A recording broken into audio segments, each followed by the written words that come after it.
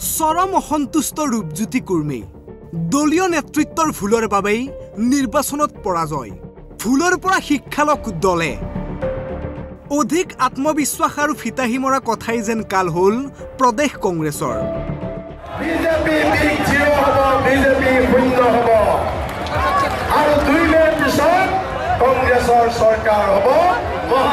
চৰকাৰ। সদ্য ঘোষিত পঞ্চদশ অসম বিধানসভাৰ নিৰ্বাচনত কোনো ভাল ফলাফল দেখুৱাব নোৱাৰিলে কংগ্ৰেছে। এ আই ইউ ডি এফক লগত লৈ দিছপুৰৰ গাদী দখলৰ সপোন যেন সপোন হৈয়ে ৰ'ল।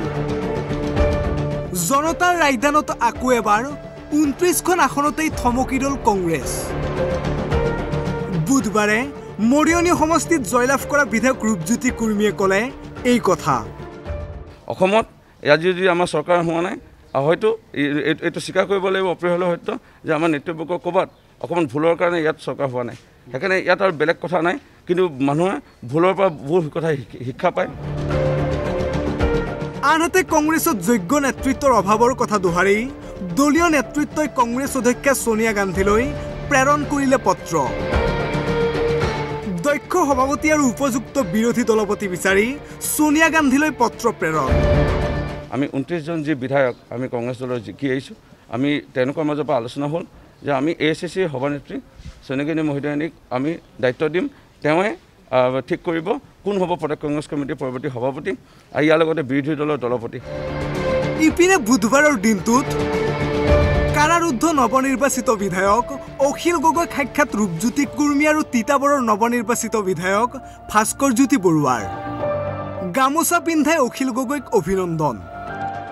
কৃষক মুক্তি সংগ্ৰামী নেতা ৰাজ্য দলৰ নৱনিৰ্বাচিত বিধায়ক অখিল গগৈ ডাঙৰীয়াক সাক্ষাৎ কৰিব আহিছোঁ। এখন গামোচা পিন্ধাই তেখেতক সন্মান জনাম। আৰু যিহেতু মোৰ সমষ্টিৰ সন্তান সেয়েহে আহিছোঁ। আৰু তিতাবৰৰ নৱনিৰ্বাচিত বিধায়ক ভাস্কৰজ্যোতি বৰুৱা ডাঙৰীয়া তেখেতো মোৰ লগত আহিছে। আৰু আমি প্ৰথমতে বিধানসভাত গ'লোঁ। আমাৰ যি প্ৰমাণ পত্ৰ সেই প্ৰমাণ পত্ৰ আমাৰ মুখ্য সচিব বিধানসভা আমি দিব লাগে। আমি বিধায়ক হৈ আহিলোঁ বুলি প্ৰ- প্ৰমাণ। সেই পত্ৰ প্ৰমাণ পত্ৰ দিয়েই গুৱাহাটী মেডিকেল কলেজলৈ আহিছোঁ।